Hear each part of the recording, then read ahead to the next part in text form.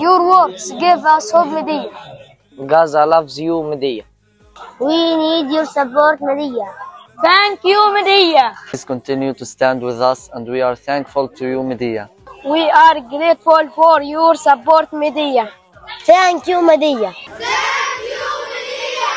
I was so shocked and moved and humbled by receiving that message from you, the children of Gaza, in the midst of all you are going through to take the time to send us a message of encouragement is truly amazing.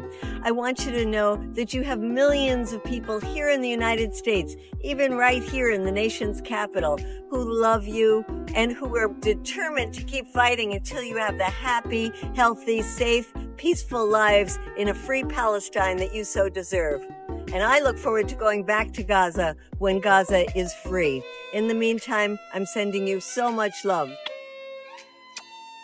I see you, children of Gaza. You are beautiful. Thank you for this wonderful message that you sent to us. We will always work hard to keep you in our hearts and keep you safe. We look forward to meeting you in person, inshallah, one day. We are so proud of you, and you are the reason we keep going and we keep doing what we do. Thank you for your strength and for teaching us every day the value of life.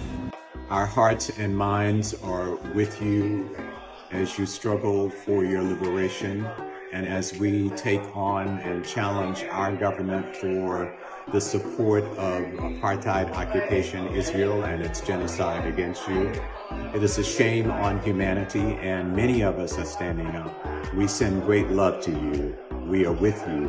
We will always be with you. And I just want you to know that I see what's happening. I care about what's happening. I am not at all okay with what's happening. And I love you. What's happening is absolutely atrocious. It's unconscionable, and we hope that this ends soon and you can have the lives that you deserve to have. We love you. You're in our hearts every single day as we fight for a free Palestine where you can enjoy going back to school, playing with your friends, and just feeling safe. We love you so much. You're in our hearts. We're not going to stop fighting. We are going to stand alongside you until you are liberated and we are all liberated from the oppressors and from the hand of Israel. We love you and we care about you and we are not going to stop. We are standing by your side and we are standing strong.